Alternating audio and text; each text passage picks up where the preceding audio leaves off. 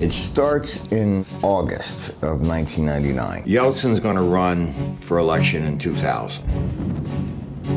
They get Yeltsin to take $7 billion from the IMF loans. Now they threaten Yeltsin. You're not going to run for election in 2000. Otherwise, all this is going to come out that you stole $7 billion from the IMF. Сегодня я в последний раз обращаюсь к вам как президент России. This is how Putin gets in.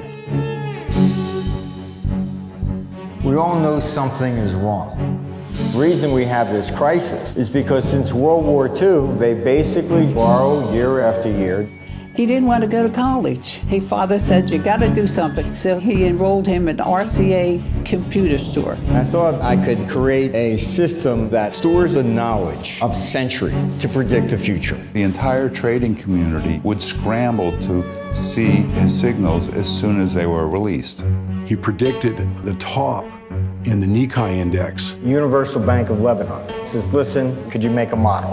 And the computer says, your country's just going to completely fall apart in eight days. Obviously, that prediction was correct. They realized that the model could forecast the rise or fall of a nation. They wanted that source code, which is text. We want the source code. I said, not getting it. Sorry.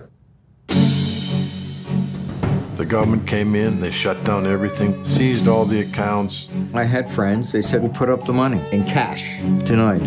He's held with the worst of the worst. He wasn't backing down, and uh, didn't seem like they were either.